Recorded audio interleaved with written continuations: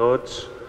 Així, a Sant Miquel dels Reis, seu de la Biblioteca Valenciana, en este, en este acte que pertany al cicle de trobades d'autors i autores en alumnat de, de València. He de dir-vos que estem molt contents en guany per la representació territorial, perquè hi ha gent de València, d'Alzira, de Picassent, de Burjassot, de Museros, d'Oliva, de Villena, així que moltes gràcies per vindre, fins i tot de tan lluny. Jo, si fora Gemma, estaria... que no cabria en mi. Eh, això. El cicle és un cicle que des de la Generalitat Valenciana intenta promoure que vosaltres pugueu eh, conèixer de primera mà artistes, autors, autores de, de renom. Enguany ja hem tingut per ací a Lorenzo Silva, Silvestri Vilaplana, Carlos Marzal, a Susana Fortes, a Carles Cano, tindrem a Vicente Muñoz Puelles, a Pasqual Alapont i en cicles paral·lels a Isabel Burdiel, als principals creadors de còmic com Paco Cano, eh, Paco Roca, perdó, i eh, Tindrem també a Francisco Brines a qui se li farà un homenatge. Avui tenim a Gemma Pasqual, a la que li agraïm enormement la seva presència, la seva assistència i la seva disposició a que este siga sobretot el vostre moment. Val? Perquè després, de seguida, en 5 minuts, tindreu la paraula vosaltres per a poder-li fer les preguntes que cregueu oportunes. Està Nacho per ahir en un micro, qui vulgui fer una pregunta, alça la mà.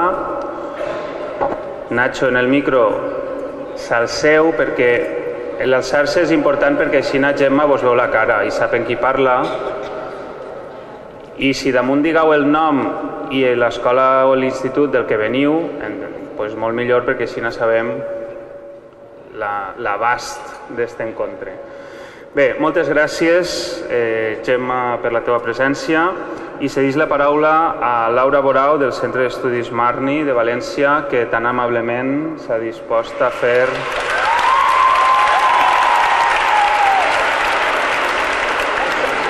Són els meus fans.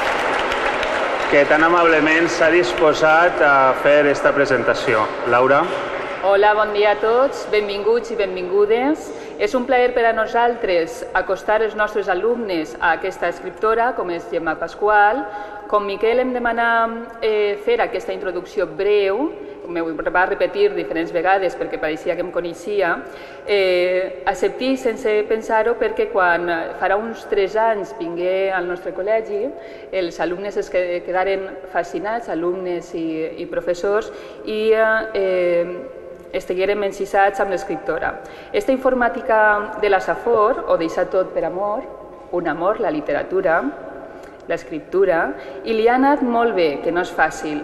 Autora de llibres com Roger Lopelat, La fàbrica, La mosca, eh, o l'últim, l'últim, Barça o Barsac, col·laboradora en diferents revistes especialitzades de literatura, conferenciant, animadora a la lectura i compromesa amb el seu poble i amb la seva llengua, ha fet un llarg camí. És un plaer per a mi deixar la paraula a Gemma Pasqual.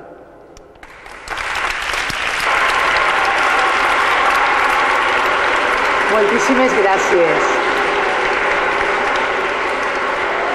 Agrair-vos la vostra presència. És que veniu de lluny, que és un viatge llarg, i és que veniu de prop, és de casa, és amics, la família.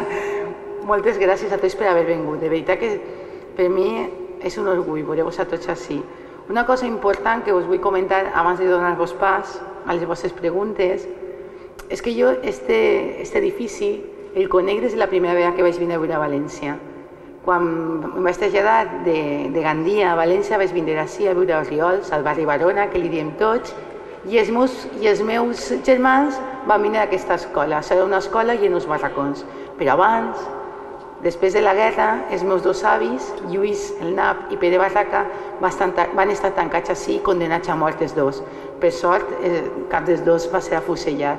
I és que no m'emocione quan veig aquest lloc convertit en una biblioteca. Això és un bon senyal i és que anem per bon camí. Així que ara vos toca a vosaltres parlar. Qui és el primer o la primera valenta que fa la pregunta?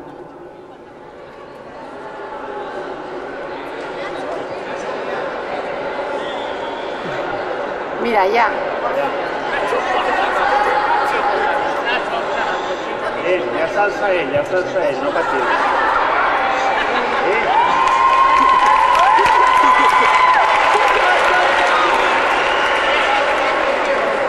Com et dius, valent? Eh, gràcies. Eh, soc del Marni, del Col·legi Marni, i la meva pregunta...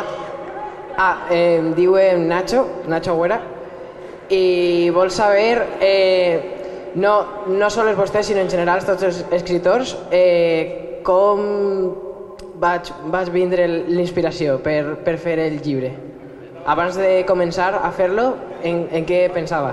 A veure, eh, parle de la idea en general. Cada autor i cada autora tenim una manera i unes manies, val? Jo és veritat, com us ha dit la vostra professora, bueno, és el Mani, que vinc del món de la informàtica. La meva ment és molt científica. Jo mai m'enfronto a, una, a, la, a la pàgina en blanc. Jo faig allò que els crítics anomenen novel·la social, no? Ho sabeu, heu llegit La fàbrica, La mosca, eh, Llàgrimes sobre Bagdad, i normalment les idees venen de notícies, de coses que passen. Però clar, una idea no és prou. Jo puc dir, ui, que mal està l'assetjament a les aules, o que malament ho estan passant a Bagdad. Però ahir he de buscar la història. I les històries les busque en la quotidianitat, en el que passa dia a dia. Quan vaig fer llàgrimes sobre Bagdad, per exemple, jo, això, bussejant per internet, vaig descobrir que les xiquetes a Bagdad, abans de la guerra, s'estaven preparant per a fer una funció de final de curs i estaven totes vestides en un tutú per, fer, per a ballar el llac de signes. Clar, jo mai de la vida m'havia imaginat aquestes xiquetes vestides d'aquesta manera. I ahir vaig veure que hi havia una idea per a un llibre. Però clar, les notícies que m'arribaven de Bagdad eren de guerra. I vaig començar a buscar la història. Vaig buscar informant-me, mirant per internet, llegint, fins que vaig trobar què passava el dia a dia a Bagdad i vaig, i vaig buscar el dia a dia de moltes persones i a partir d'ahir anava jo fent-me la idea, no? fent-me la idea del que passava, dibuixava els personatges i una cosa que jo tinc al cap, que fins que no tinc la novel·la tot al cap no comence. De fet, Llàgrimes sobre Bagdad vaig començar pel final, perquè si no, segur que no haurà fet aquest final, no? I fins que no tinc tota la, la novel·la al cap, llavors dic, no comence. Quan ja la tinc tota, la faig tota seguida. Començo a escriure com una boja, puc estar en pijama dies i dies i quan l'acabe m'aparte d'ella, perquè necessita un espai, no? I després la torno a agafar. I és com, com brosat, no? O sigui, jo ja he fet la novel·la i començo a pintar. Ara sí, una descripció, ara hi ha un, una història d'amor, i quan ja això la torno a mirar una altra vegada. La torno a mirar una altra vegada i busco el ritme. El ritme és molt important en una novel·la, per a que vosaltres pugueu anar llegint-la d'una manera que no s'atureu i així no? és més o més com per les novel·les, no vaig allargar-me més perquè si no no podeu preguntar tots. Un altre dia. Jo crec que no cal aplaudir cada vegada, eh? Jo ho agraïsc.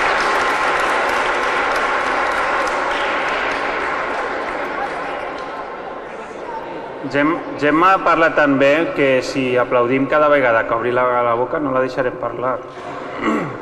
Així que quasi que no, a mi, ta, a, jo, a mi sí que no m'heu d'aplaudir. Així que si mos deixem els aplaudiments per al final serà millor.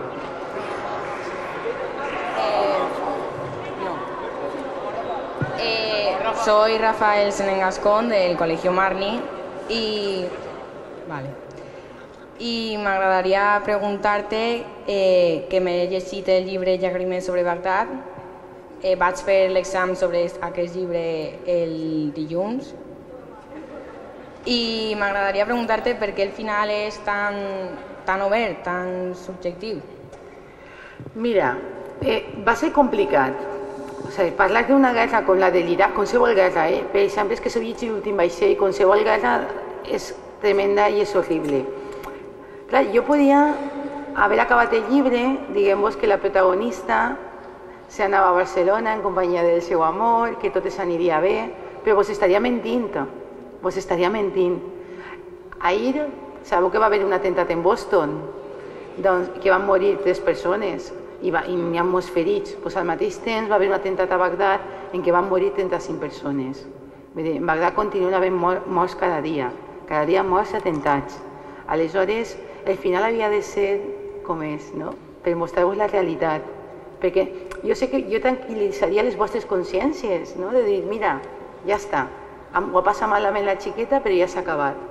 Però crec que teniu una edat en què no puc fer pastissos, han de ser novel·les, i crec que és el final més adequat. Jo ho sent molt, de veritat, que ho sent, ho vaig sentir molt, però no podia haver un altre final. No us puc explicar més als que no llegit la novel·la perquè si no hi ha coses que no s'han de dir. Quedat, eh, has quedat satisfet? Vale.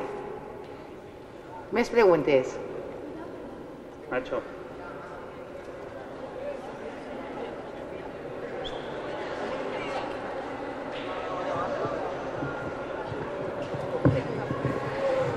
Bon dia. Bon dia. Em diu Rubén Aparici, soc de Alcira, de l'Acadèmia Xúquer, i volia preguntar-li si ha sigut, eh, vostè només la que ha escrit La Mosca ha sigut ajudada. A, si ha recibut l'ajuda d'algú o escriu vostè sol en La Mosca. Escriure la mosca m'ajuda moltíssima gent. Sí, vull, normalment a mi no m'ajuda ningú, ja, ja et dic, normalment faig les coses jo sola. Però la mosca va ser un experiment, una, va, va, estava, fe, estava presentant el record d'Amanda a l'escola de la Masia, que estan així, en tercer d'ESO, que no aplaudiu, i, uh, i va, va així del tema, no? De, de, en aquella època acabava de suïcidar-se Joaquín, que és a qui dedica la novel·la, i estava molt en boca de tots. De fet, el suïcidi de Joaquín va ser el que va posar el nom al bullying i a l'assetjament. Vull dir, no se'n parlava tant com, com a partir del suïcidi de Joaquín.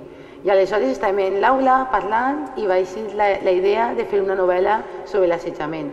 Es vaig demanar col·laboració a tota aquesta gent que tens al començament del llibre que agraïsc i de seguida eh, van començar a enviar-me escrits, coses personals, coses que no eren personals, coses que s'havien investigat i, i entre tots la feren, però érem no, més de 20 persones, veritat, sabeu? I a més, el, el puc que va ser una experiència tan xula que ho estic repetint ara a les escoles de Sant Josep. Vull dir, fer eh, novel·les en companyia de lectors jovens, perquè per mi no sou alumnes, sinó que sou lectors, és interessant perquè me doneu un altre punt de vista, no? de les coses diferents. I jo vos ho agraeix moltíssim. A tu.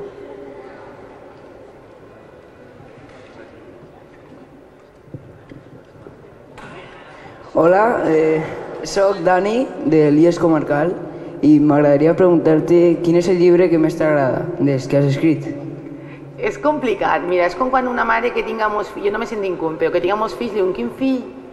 A veure, jo a, a Marina, que no és el meu millor llibre literar, literàriament parlant, estic molt agraïda, perquè jo, jo no sé quants bestsellers n'hi ha en valencià, però és un bestseller.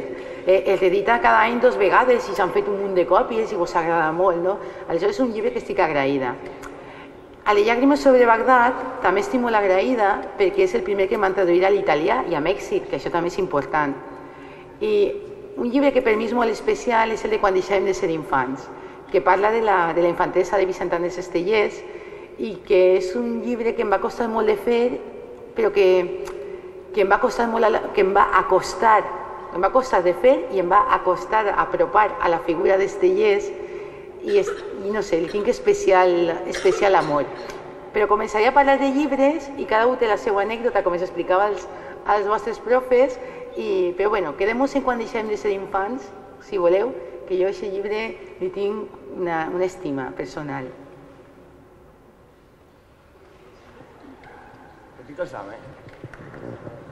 Hola, eh, em dic Axel Siscar i vinc de Dènia. Eh, tu creus que es pot viure de, de la literatura, d'escriure llibres? Home, seria estupendo. A veure, jo he vist la literatura, eh? ara en sèrio. Mireu, és complicat viure de la cultura. No, jo no soc la Rowling, qualsevol, però jo ara mateixa em dedico a la literatura professionalment. Eh, els autors, quan fem una novel·la, ens donen un avançament, o això és l'ideal, jo sé que hi ha autors que no hi ha avançament, però jo reclame un avançament que sol, sol ser d'uns 1.000 euros, ara, ara ha baixat, estem en crisi, les editorials estan en molta crisi, de 900 euros, menys un IRPF que paguem del 21%. Val? A banda d'això, he de pagar 300 euros cada mes d'autònom. Per tot i això que vos dic, jo cada mes vinc a ser una miqueta més de mileurista, igual que molts vos, de, dels vostres pares que treballen en moltes coses. Si guanyo un premi, puge. A veure, jo intente, intente guanyar més diners. Eh, intente mantenir sobre els 2.000 euros. Vos estic parlant de diners perquè crec que és important que sapigueu. És veritat que ara vindran altres companys meus i diuen jo no guanyo això, però també és veritat que quan són profes, jo no, jo em dediqué a la literatura. I vos vaig explicar una cosa que crec que no públicament he explicat molt poques vegades. Jo vos he dit que vaig vindre a ser Riols. Jo vaig vindre a Riols perquè es van des desnonar. Sabeu això que està tan de moda ara que diuen, no de moda en tot el món respecte, no? Pues, eh, mon pare era constructor i va perdre la casa. M'ho van perdre tot. I van vindre a ser Riols a una casa que només tenia dues habitacions i eren sis persones. I aleshores mon pare em va dir, Gemma, has estudiat FP i perquè vull muntar-me una gestoria. Així de clar. Perquè ell tenia les seues idees i, i jo em vaig posar a estudiar FP en les escoles d'artesans, sense triar. Jo no vaig triar. Vaig acabar els primers dos anys i li vaig dir, mira, papa, jo vull continuar estudiant. Diu, val, doncs acaba cinc anys. Se muntem la gestoria perquè ell mm, estava mala del cor i li van donar una pensió i, i diu, acaba.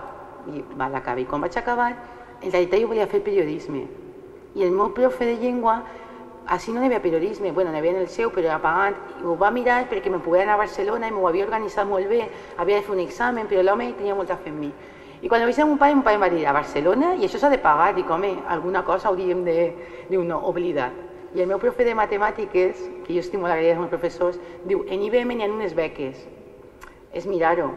I jo, i mon pare diu, pues això, dic, pues, pues això. I me vaig fer, i vaig fer informàtica, però per, sense triar tampoc. Vaig, guanyava molts diners i mantenia la meva família, que això és important, i jo no triava. Fins que quan vaig tenir el meu fill, això que, que estàs aturada un temps, que estàs en el xiquet, i em vaig inventar una història, que era una setmana tirant de roc. Però no era una novel·la, era una història. I una història que es va fer gran, i que el meu home em va dir que era una novel·la juvenil i la va dur a l'Alfaguara i la van publicar. I me la van publicar de seguida, això no passa. I vaig fer Marina, me la van publicar. I el meu home, que és el meu company, em va dir, què vols fer? Ningú m'havia preguntat què volia fer. Jo, jo vull ser escritora. I, i bé, per això sóc escriptora. Guanyo molt menys que guanyava, però sóc feliç, eh? I, i això és important, vull dir que tenim aquestes oportunitats. La vida al final ens dona oportunitats. Jo ara estic fent el que m'agrada. De vegades, em preocupa pagar la hipoteca i de vegades que no me paguen, o que, però crec que és bo de l'escriptura i és important.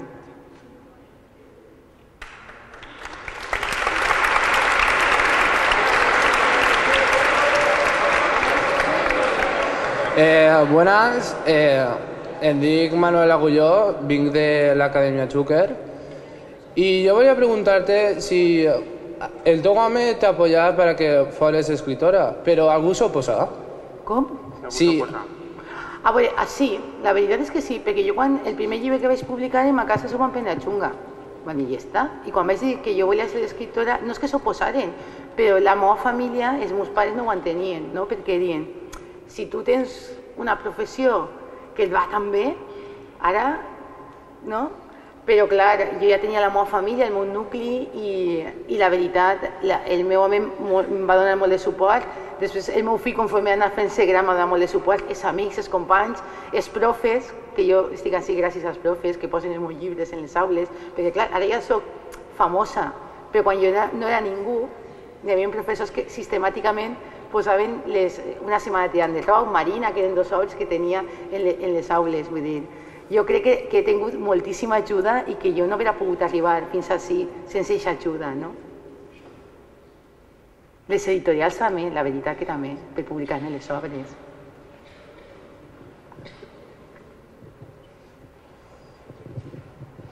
Me llamo Javier Antón, soy de la Academia Chúquer de Alcira. Una pregunta, quant de temps vas tardar en fer el senyor, eh, digamos, me lia, perdó. Quant de temps vas tardar en fer la mosca? La mosca vaig tardar més o menys un any, un poc més, perquè la mosca la vaig començar al final d'un curs, al final, i, uh, i durant tot un any vam estar documentant-nos i va ser això, un any més o menys. Novel·les com La mosca, Marina, Una setmana tirant La màgia del temps, no sé, aquestes, La fàbrica, un any. Novel·les com Quan deixàvem de ser infants, Llàgrimes sobre Bagdad, L'últim vaixell, tres o quatre anys. Jo normalment duc tres novel·les alhora. No és que siga una superdotada, per exemple ara. mentre estic documentant-me d'una, ara precisament estem fent una en companyia dels, dels, dels alumnes de les escoles Sant Josep sobre la violència masclista, estic fent una altra, que ja la tinc tot al cap, que es diu Xènia, tens un WhatsApp. Val? I estic corregint una que ja m'ha vengut de l'editorial, que es diu 650 puntades. I així vaig eh, fent tres coses alhora perquè vaig iniciant cada any un parell de novel·les.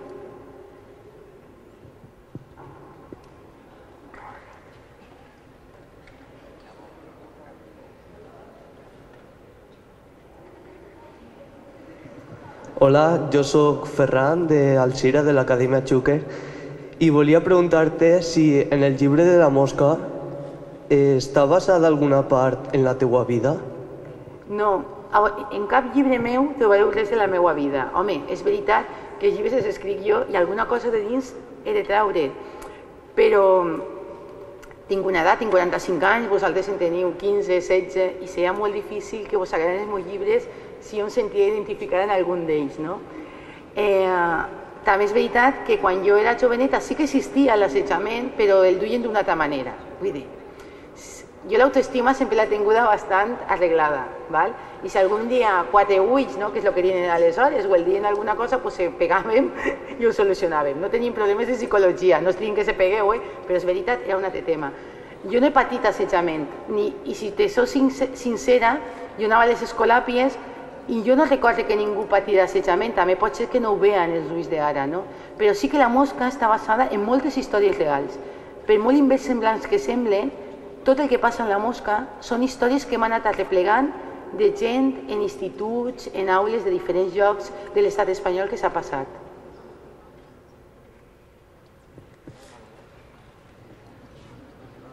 Hola, sóc Ferran de l'Escola de Messia i m'agradaria preguntar-te que per a tu, dels teus llibres, quin ha tingut més influència i rellevància social? Més influència i rellevància social? Jo crec que, que Marina, jo crec que Marina, perquè pensa que quan vaig fer Marina, un llibre que va sobre el racisme i el feixisme, que sonava així tan fort, el meu editor es va espantar, me diu, com és això, xiqueta? No? Jo havia fet un llibre que es diu Una setmana de toc, que un xiquet li fotava en la bicicleta, que volia anar a un concert, que sa mare no el deixava. I clar, quan me'n vaig dir una, una novel·la que la dedica Guillem Agulló i que, i que va sobre el racisme, que aleshores no era assetjament, que ara podríem dir que era assetjament, la vera puc vendre com a assetjament escolar, però en aquella època jo, que també tenia 20 anys menys, el venia, això, un llibre antifeixista Enric Joan, que era el de, el, el de l'editorial Bonamar, es, tenia por a publicar-lo. Me deia, no, no, ui, ui, ui. Li feia...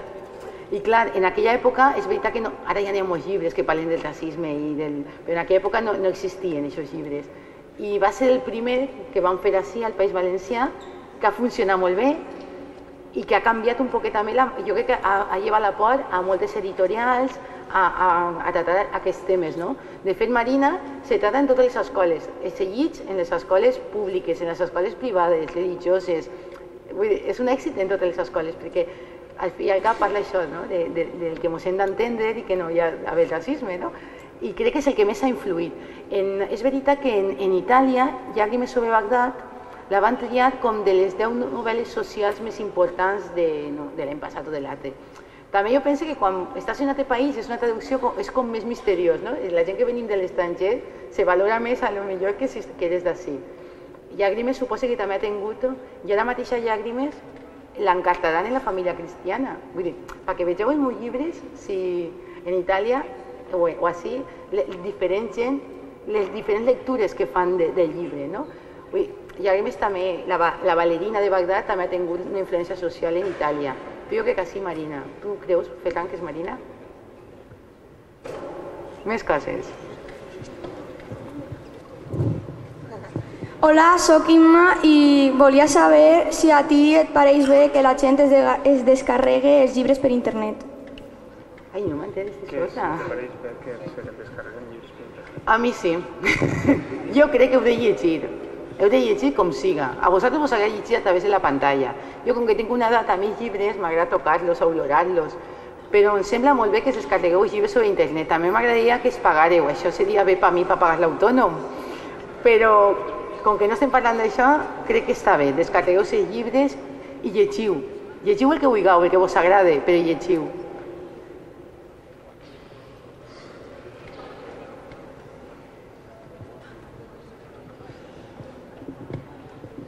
Eh, bon dia, Bon m'anomene Joan Carles i vinc de l'IES La Fuente, de Villena, i m'agradaria preguntar-te que quina o qui és el teu escritor preferit per a inspirar-te o per a llegir com a distracció. A veure, eh, són coses diferents. Quan faig un llibre, sempre em base en alguna obra. Jo m'agrada més eh, dir que tinc una obra preferida que un escriptor, perquè vosaltres vos passarà fins i tot en mi, un llibre vos agrada i un altre no, no? Aleshores, eh, ara mateix jo estic molt penjada del Jaume Cabré, m'agrada molt, el conec, és amic i m'agrada, m'agrada molt com escriu aquest home, no? Però també m'agrada molt Gabriel García Márquez, m'encanta. Jo, 100 anys de soledat, no sé quantes vegades l'he llegida, és que m'agrada molt, val? O, per exemple, la Virginia Woolf també és una persona que és una, és una escritora que m'agrada molt de llegir. Quan vaig fer l'últim vaixell, per exemple, em vaig, inspir- em vaig inspirar en, en Los Miserables, no? Quan vaig fer La Mosca, en El Senyor de les Mosques.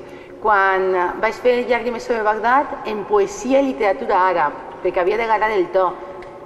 Vull dir que a mi m'agrada tota classe de literatura, també m'agrada molt l'assaig. Quan, escric articles, a mi el meu escritor de capçalera sempre és Joan Fuster, la poesia Estellers, Martí Pol, la, la Mata Pesarrodona, la Rodorera també m'agrada molt. És que la veritat és que soc tan lectora que crec que és complicat perquè començaré a dir, i diràs, no, si, si estàs dient Moses tots, però m'inspiren tots, no? Tot, tota la gent bona que, que ha escrit i que fa que, que jo creixca també com a, com a literata.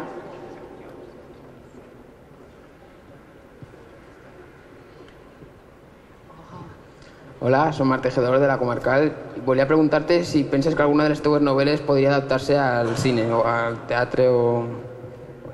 Al teatre sí que l'han- sí que adaptat, eh, han adaptat quan deixàvem de ser infants, eh, ho va adaptar Tornaveu, que van fer, era un programa que, que haurien de tornar a fer, que és el teatre i literatura, que se feia en el Teatre del Cabanyal, que és, és, va estar molt bé.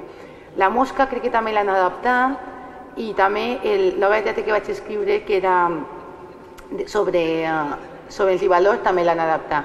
Una pel·lícula estaria molt xula, eh? A mi m'agradaria, eh? Però bueno, això no depèn de mi. Jo ja em conforme en escriure novel·les.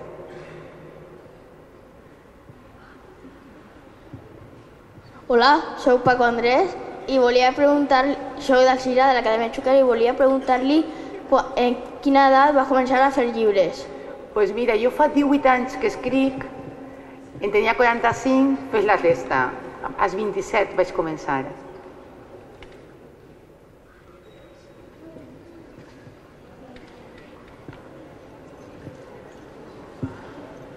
Hola, em diuen Alberto i soc de, vinc del Col·legi Sant Josep de la Muntanya i volia preguntar-te que si ara estàs escrivint algun llibre.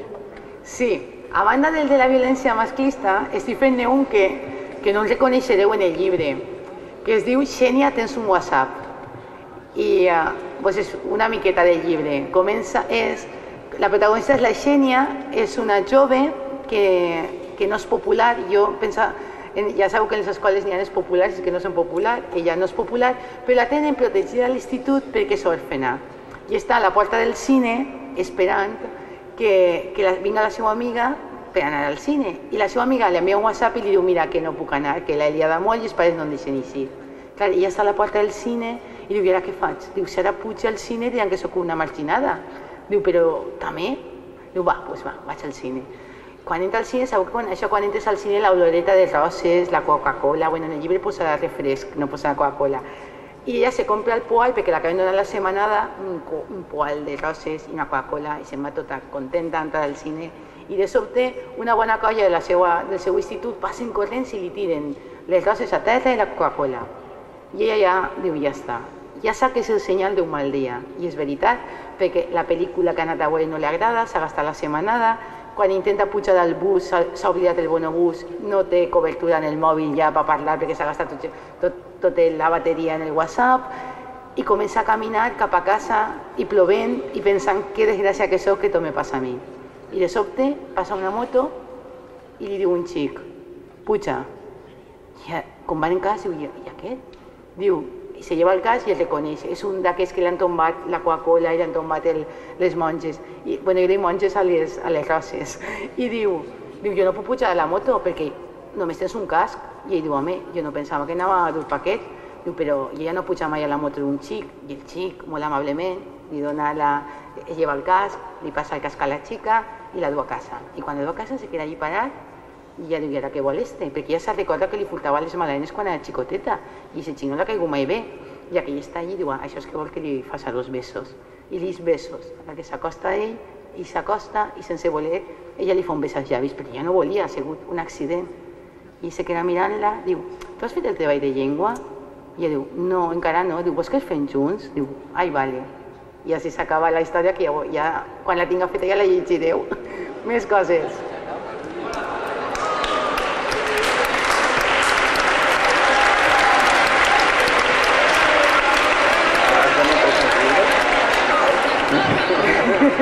Soc Maria Sebastián del Col·legi Marni i em va preguntar en què es va inspirar per a escriure Rogelio Pelat. Rogelio Pelat. Rogelio Pelat és un llibre que va sobre un xiquet que té càncer, val? però no és una novel·la trista ni res de tot això, eh? no, no penseu que va, que va de malalties, és veritat que té la malaltia. I, i va també sobre el tirant, és una, una bateja, veritat? Quan vaig als instituts, jo, a mi m'agrada molt fer trobades amb els, amb els eh, lectors, m'agrada. A mi me diuen que se me passaria i no se me passa. N'hi ha alguns i algunes que es porten una gorra. Sabeu que en classe no se pot dur el cap tapat, aleshores són gent que estan patint una quimio perquè estan patint algun tipus de malaltia.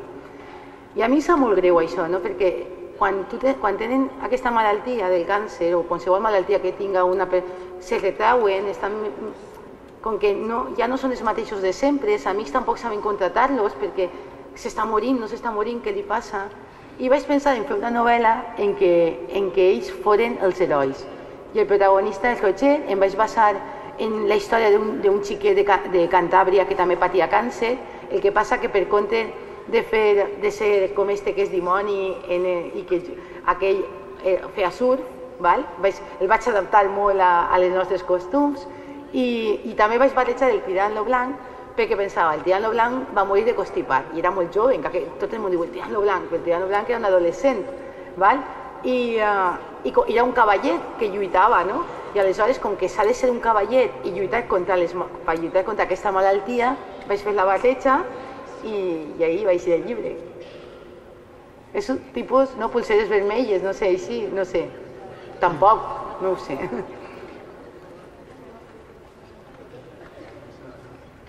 Hola, eh, sóc Andrea i sóc de l'IES Comarcal. Eh, volia preguntar-te si alguna vegada has pensat destinar els beneficis d'un llibre a una obra benèfica. Sí, a mi no m'importaria en absolut, eh? de veritat que no. Bueno, no, ho pens... no m'ho han demanat, perquè clar, això s'hauria de mirar, però sí que escric articles i faig coses que, que done, o done llibres també personalment, però és que aquestes coses no s'han de dir, vull dir, no, no. És que clar, si ho fas benèfic i ho dius, no té gràcia, no? Però no m'importaria destinar alguna hora meva a alguna, alguna causa concreta. Val? I, I si ho he fet, crec que no s'ha de dir.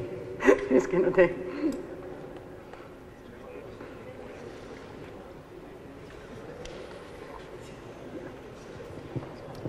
Hola, em diuen Ramon, sóc del Marni i me gustaría preguntarte si alguna vegada t'has inspirat en alguna persona real per a fer els teus llibres.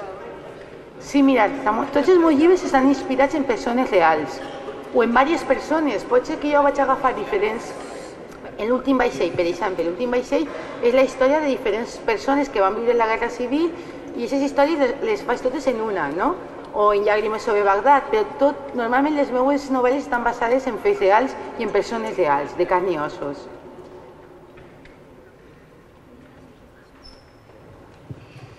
Hola, sóc Miguel. Qui, eh, soc de l'Acadèmia Xúquer, d'Alcira. Quin nom rep el primer llibre, eh, el primer llibre que va escriure? El primer llibre es diu Una setmana tirant de roc, que crec que alguns dels que heu vingut se l'heu llegit. Que ja veus, té 18 anys ja. Hola, sóc Marcos de l'Acadèmia Xúquer. Eh, i volia preguntar-te per què es va basar en el, llibre, en el llibre del Senyor de les Mosques per a escenes de la mosca. Mira, a mi el Senyor de les Mosques, a mi no m'agrada aquest llibre. Jo vos ho he de dir, perquè els llibres no ens han d'agradar tots. Però pense que era molt oportú perquè el, quan, quan el, el llibre, les mosques, el, el llibre del Senyor de les Mosques, si no el coneixeu, parla d'uns xics que van a una escola privada d'aquestes molt victorianes, de, amb moltes normes i pocs valors, que tenen un accident, van a parar a una illa deserta i com que no n'hi ha cap adult es converteixen en uns salvatges. Perquè com que ells es basava la seva vida en normes i no en valors, com que no hi ha ningú que es diga heu de fer això i eh, per norma, doncs hi passen coses molt gore, passen moltes animalades. I aleshores jo pensava que això tenia molt a veure en l'assetjament. I com que el senyor de les mosques té aquestes descripcions tan, tan cochines no? de les mosques, de, de la sang, crec que era per a la mala consciència de la protagonista era molt, venia molt al cas. I la novel·la també venia al cas, tot i que la novel·la ja fa molts anys que està escrita, no, també és assetjament el que pateixen els protagonistes dels seus companys, no? Eh, soc Isaac de l'Acadèmia Xúquer i volia preguntar-te eh, en el llibre de la mosca per què el tema de l'assetjament. Mira, jo no volia, la veritat és que a mi m'ha m'ha costat fer un, parlar sobre l'assetjament escolar perquè jo penso que en, el, en tot des és blanc o negre, n'hi ha molts colors del gris, val? I, uh, i parlar sobre l'assetjament escolar, hi havia una novel·la que cre... n'hi havia diverses novel·les, no? si no recordo malament, ah, en Boramar n'havia publicat alguna, el Francesc Montpoque que en tenia una altra, i n'hi havia algunes. Però era important també fer una novel·la des del punt de vista vostre, dels jovens, perquè si, no sé si saps que una cosa que funciona molt bé en contra de l'assetja- de l'assetjament escolar és que els alumnes, els mateixos alumnes, feu de mitjancers. Vosaltres talleu més l'assetjament escolar que els professors, perquè parleu el mateix llenguatge. I aleshores jo crec que el que intentaren fer els, els alumnes de la Masia era una novel·la que, que vosaltres sentiu la vostra veu, no? I, i no sé, i per això fem una novel·la sobre l'assetjament i també és veritat, com vos he dit abans, que s'acabava de suïcidar Joaquín i era una cosa que es preocupava, que continua preocupant-nos molt a tots, a pares, ensenyants, alumnes, no sé, a tota la societat en general.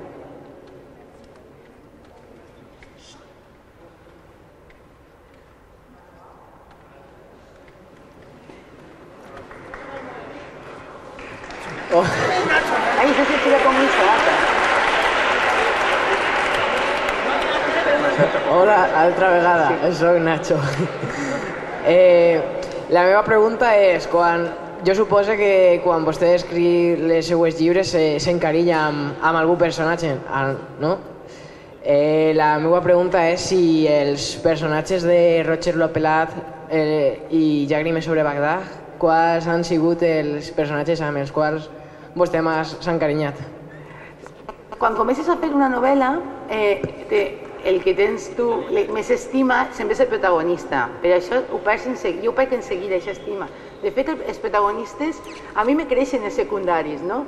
En, um, en Roger Lopelat, home, Ona és que és un amor, és una, és una criatura que, que em va anar creixent, no?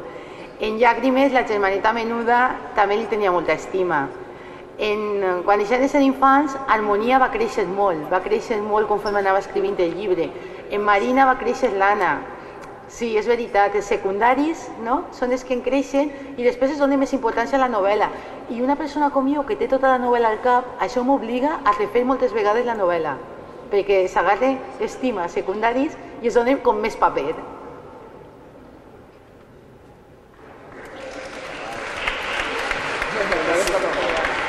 Eh, bueno, hola, soy Alejandro y soy de Villena, del IE número 3, y volia preguntarte si alguna vegada eh, has escrito algún llibre del que te hayas arrepentit y... a. Y... i no hagis publicat algun... A veure, mm, no. Sí que és veritat que de vegades he començat a escriure sobre algun tema o alguna cosa i no l'he agarrat el fil, però jo de seguida va a la paperera i esbotat, val? Perquè hi ha aquí en Monzó que els millors crítics som els mateixos escriptors i escriptores, i aleshores si una cosa no m'agrada és que no acaba ni, ni, ni la primera pàgina, no? ho esbota i ja està, i ja me poso una altra cosa.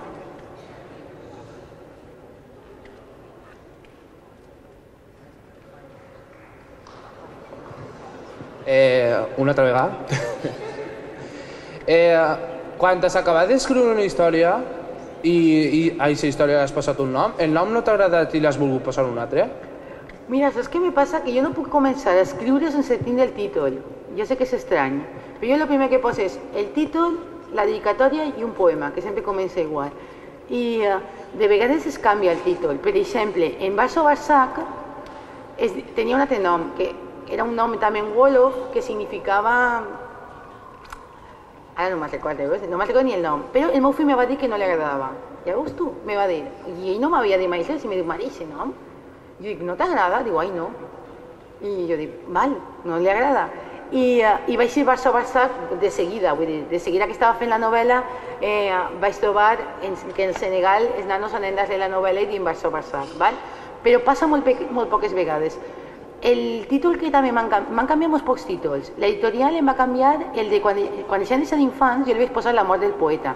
Em semblava més curt, més bé, però l'editor em va cridar, no, Xema, La mort del poeta no em sembla un títol adequat el millor quan deixàvem de ser infants, mis santanders estellers des del fons de la memòria. Evidentment encara no n'hi havia Twitter, perquè si no segur que no ho haurà fet.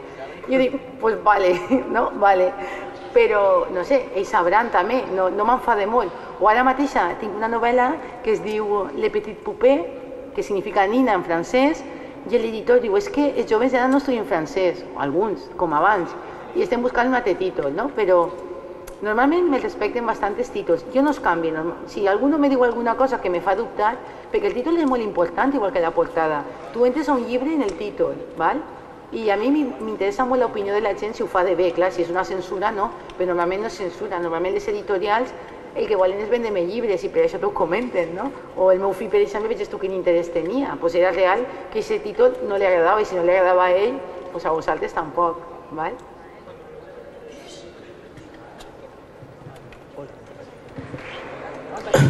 que jo també volia repetir. Que... Volia preguntar que per què ha elegit el poema de Joan Brossa per a la mosca. A veure, el poema de Joan Brossa, le, perquè és molt repetitiu. I clar, jo sé que això no vos... Que molesta el poema tantes, que el repetís tantes vegades. La meva, la meva idea no era que llegiu el poema cada vegada, sinó la meva idea és que com que Isona té mala, té mala consciència, mala, la mala consciència de la Isona la, la, la persegueix. I la persegueix igual que aquestes mosques pesades d'estiu que fas el cine te passa a l'altre costat, doncs això és el poema de Brasa, no? Que quan menys te ho esperes apareix el poema en la novel·la i tu el que vols és passar-lo ràpid, no? Perquè vols saber què passa. És la mosca pesada. I quan, quan Isona fa el que ha de fer, no? Desapareix.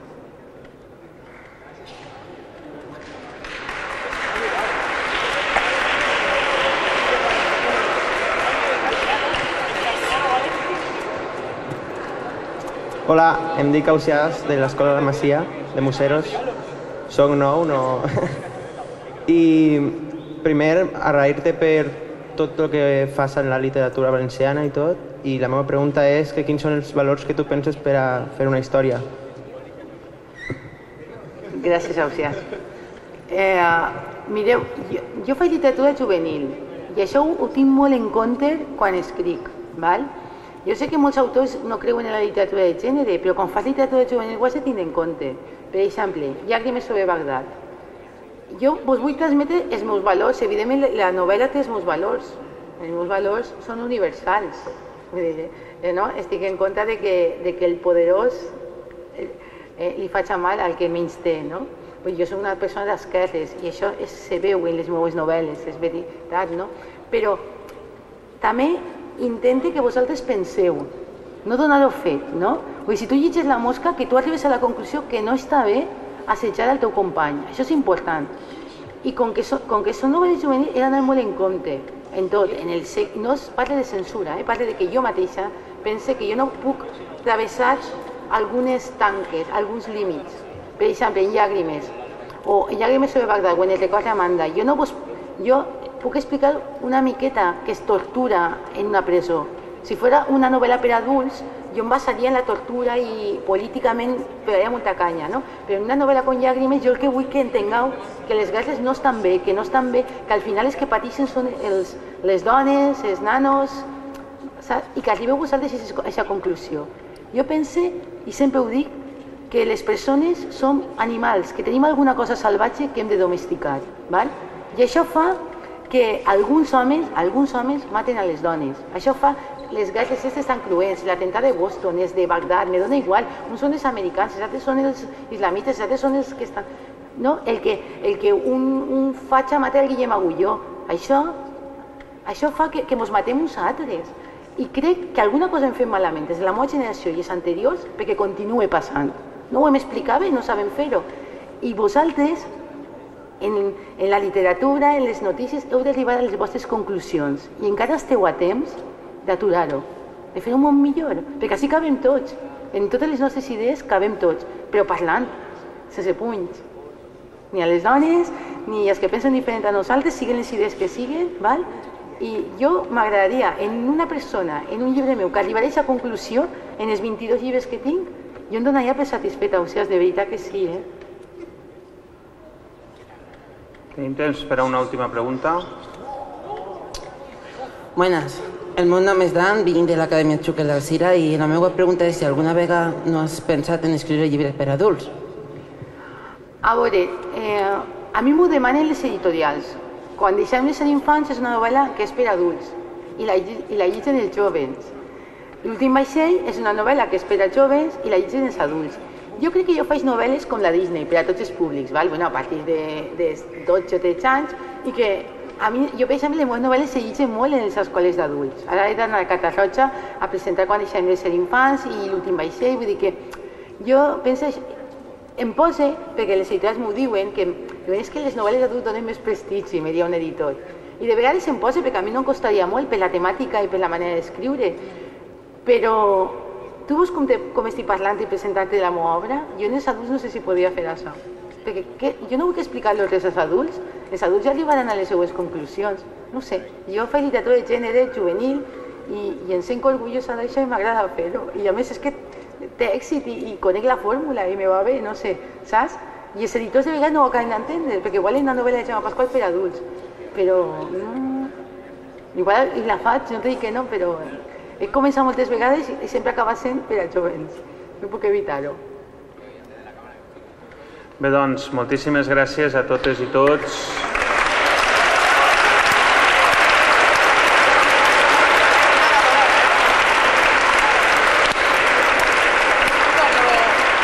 La veritat... La veritat és que dona gust veure la, la casa plena, sou més de 350 persones.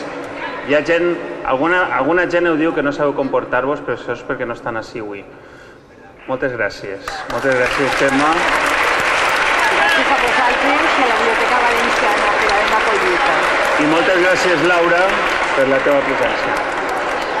Si algú tinguera, si algú té el gust i el llibre o un paper i vol pujar per ordre i fent eh, cua la- en l'entrada, Gemma pot signar alguns llibres.